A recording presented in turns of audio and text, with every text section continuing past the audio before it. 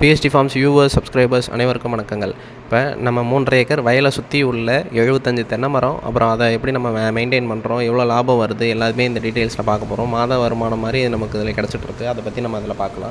இப்போ வந்து ஒரு நாற்பது நாளைக்கு ஒரு வாட்டி நம்ம தேங்காய் வெட்டுறோம். ஒரு ஆள் ஏறி இறங்கி வே- ஒரு மரம் ஏறி இறங்குறாங்க அப்படின்னா அவங்களுக்கு வந்து இருபத்தஞ்சு ரூபா ஒரு மரத்துக்கு இருபத்தஞ்சு ரூபா கூலி கொடுக்குறோம் நம்ம. ஒரே ஆள் வெட்டிடுவாங்க எழுபது எழுபத்தஞ்சு நாள் எழுபத்தஞ்சு மரமும் ஒரே நாளில் வெட்டிடுவாங்க.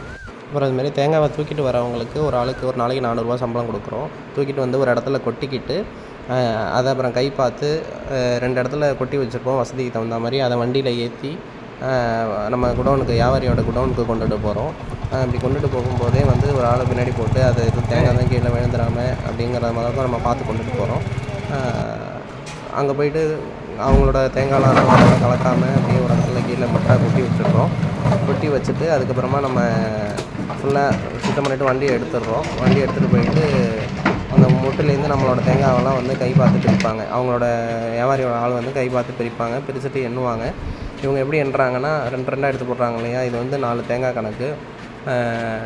இப்போ குவாலிட்டி பிரிக்கும் போது எல்லா தேங்காயும் ஒரு தேங்காய் ஒரு ஒரு தேங்காய் தான் கனெக்ட் பண்ணுவாங்க. பட் ரொம்ப சின்னதாகவோ சேதமாலாம் இருக்கும் தெரியுமா? அதை வந்து அவங்க எப்படி எடுப்பாங்கன்னா மூணு தேங்காய் வந்து ரெண்டு தேங்காவாக எண்ணி அதை எடுத்து போட்டுக்கிறாங்க.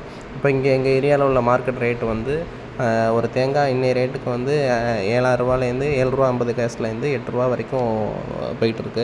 பதிமூணு ரூபாலாம் போனது இப்போ ரொம்பவே இதில் நஷ்டமாக இருக்குது ஏன்னா ஒரு ஆள் வந்து இருபத்தஞ்சி ரூபா ஏறி இறங்குறாங்க. கன்று மரத்துக்கு. பெரிய மரம்லாம் நாற்பது ரூபா ஐம்பது ரூபா வரைக்கும் வாங்குறாங்க. நமக்கு சின்ன மரங்கிறதுனால இருபத்தஞ்சு ரூபா வாங்கிக்கிறாங்க. தொடர்ந்து நம்ம வந்து மாதம் மாதம் அவங்களுக்கு நம்ம வேலை கொடுத்துட்ருக்கோம். நம்ம வ- இந்த தூக்கால் இருக்காங்க இல்லையா? அதனால் இது வந்து நம்ம தே தேங்காய் நிறையா இருக்குது ஆயிரம்க்கா ஆயிரத்தி ஐநூறுக்கா விடுறதுனால நம்ம வந்து ஒரு தே ஒரு ஆளை அனுப்புவோம். அப்புறம் வியாபாரியும் வந்து ஃப்ரீயாக அவங்க அவர் சம்பளம் கொடுத்து அவர் ஒரு ஆள் அனுப்புவார். ஏன்னா ரெகுலராக நம்ம ஒரே வியாபாரிகிட்ட போடுறதுனால அவர் ஒரு ஆள் அனுப்புகிறாரு நம்ம ஒரு ஆள் அனுப்புகிறோம் தூக்கி கொண்டு வந்து ஒன்று சேர்த்து அதை எண்ணி அதுக்கப்புறமா நம்ம வந்து அதுக்கு எவ்வளோ அமௌண்ட்டுன்னு சொல்லிட்டு நம்ம பணத்தை வாங்கிட்டு போகிறோம் அங்கேயே நம்ம பணியாட்களுக்கெல்லாம் சம்பளம் கொடுத்துட்றோம். இப்போ அடுத்த வீடியோவில் நம்ம இதுக்கு எவ்வளோ உரம் வைக்கிறோம் என்ன உரம் வைக்கிறோம் அது எப்படி பராமரிக்கிறோம் ஆனால் இதில் வந்து நமக்கு நல்லாவே மாத வருமானம் நிறைய வருதுங்க. ஒரு மாதம் வந்து நாற்பது நாளைக்கு ஒரு நாலாயிரரூபா அந்தமாரி நமக்கு லாபம் நிற்கிது கரெக்டாக நாற்பது நாளைக்கு நான் ஒரு நாள் ஒரு வெட்டு வெட்டுறோம் நம்ம. வெட்டும்போதே நம்ம வந்து இளநி பறித்து சாப்பிட்றது அந்த மாதிரி ஒரு என்டர்டெய்னிங் பர்பஸாகவும் நமக்கு நல்லாவே இருக்குது வீட்டில் இருந்து எல்லோரும் போயிட்டு இளநீ பறித்து சாப்பிட்டுட்டு ஜாலியாக இருப்போம்.